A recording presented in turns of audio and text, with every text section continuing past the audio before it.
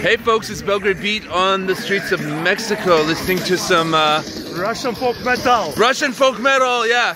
So I haven't uh, really like updated you guys in a while about my life, but I'm here with my friend Andre and we're walking down this random street in Mexico listening to this uh, music. I'm gonna turn the music off for a second. So yeah, how am I doing? Yeah, yeah by the way, this is Andre and you Hello, are hello.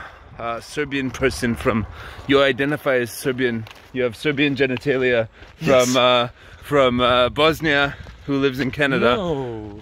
No? From Croatia, from Bosnia, from Serbia, Serbian. Okay, so this is one of my good friends from Toronto, actually. And you moved to Toronto when you were like, how old? 21? 21 years old. And uh, I moved to Belgrade when I was like, how old? Like 25 or something. So it's like kind of the reverse. And but you were one of my closest friends when I lived in Canada. And so yeah, this is the journey in Mexico. You flew down here for a few days to hang out, catch up. Um, a lot better than hanging out in Toronto, isn't it? Oh, pretty much, yeah. Yeah, and Lots lo- of places are. Did you hear? Like, okay, so I escaped. I escaped Belgrade in the in November to have warmer weather. You know, sandals and shorts, sort of stuff. And and uh, did you hear about the pollution in Belgrade? Like how bad it is. Like, do you know Th- that? This guy, you were telling me about Yeah. the pollution. I haven't heard. I'm talking. Belgrade to, is now one of the- six, seven people from Belgrade all the time. Yeah, No mention of that. No you mention- talk about it. yeah, because it's literally like one of the. I mean, I don't like November. I don't like the cold, colder and darker days of November. Days are getting colder. I've been very open about this to everybody, and that's why I'm here in Mexico. And um, yeah, but the pollution in Belgrade is ridiculous. Like it's literally like yeah, you can't see across the street. And I mean, like there's no solution to this problem because like Serbia is such a small country, and all the countries around are contributing to this problem, so it doesn't really matter. But yeah. Anyways, I burnt out on the Belgrade in the winter thing. I look forward to being there next year. Yes. I don't know. What do you think of me and my life in Serbia? That I managed to get an audience on this YouTube channel and stuff like that. You are you. I am. I don't feel I am. Uh, But you call- contributed to this, like uh, Of me. course I have.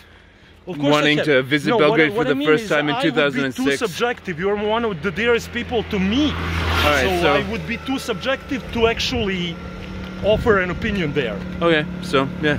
That's what I But mean yeah, this that. guy is one of the reasons I moved to Serbia in the first place because like I saw a certain culture that we had in common, and then I went in to Belgrade, and Mm-hmm. and then eventually realized that lots of people there have a lot in common with me, and my opinions about life and stuff like that, and spent the last uh, bit of time living there. But yeah, I don't know, people there. I mean, it's such a beautiful city, Belgrade, and such a amazing sort of like potential for like a world metropolis. But people there are just they don't realize what they got. So, what do you miss about Serbia, Balkans culture that you don't have in Canada?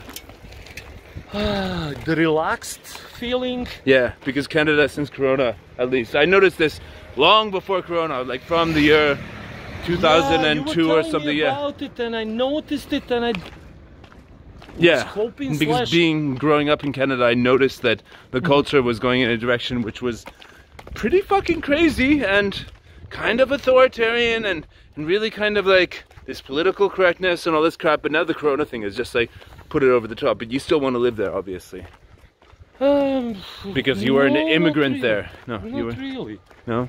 Uh, honestly, You want to be a digital nomad like me and be able to spend a month in Mexico and then fly to Thailand and all that crap?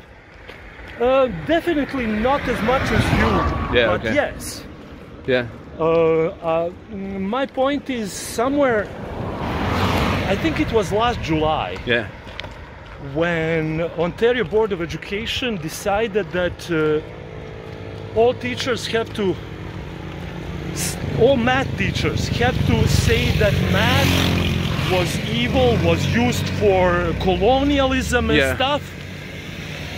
that you had to say that math was evil. It's like, nah, sorry, don't need your ideology.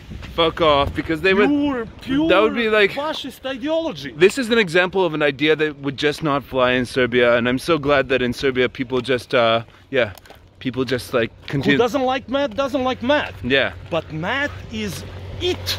Yeah. It's not evil, it's not good. It's Anyways, yeah, uh, we're running out of tape. My phone's out of memory, so we're gonna wrap this video Right, up. right, right. Greetings from Mexico, everybody, and uh, we'll catch you later. This is Andre, one of the main reasons I got into Serbian culture and stuff like that. So we'll catch you later.